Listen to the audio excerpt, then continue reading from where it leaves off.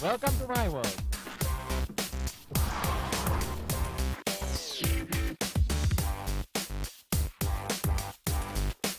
I got the idea origin when visited Juha Kankkunen's museum. It was a great moment to see Juha's car, but it's Juha has a fantastic collection, but because it's quite private, I, I got an idea that I tried to make one for the public.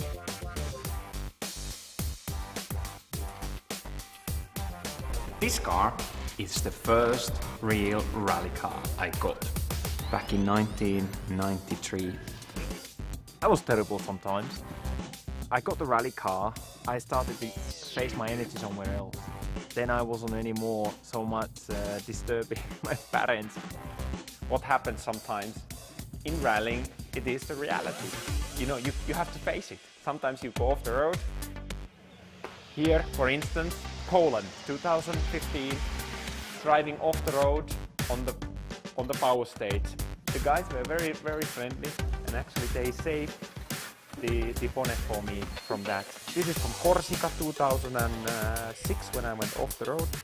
Yeah, but okay, it was a hard moment to learn. I broke my thumb, but it's fixed. Every year you have a new jacket. And then you see from the four times uh, all the jackets I have got. They are here. And then you come to the overalls.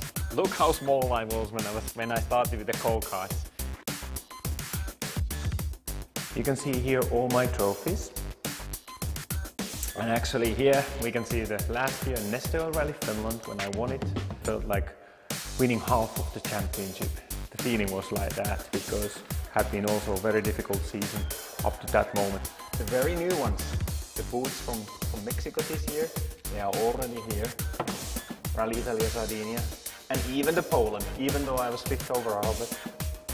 That's part of the history.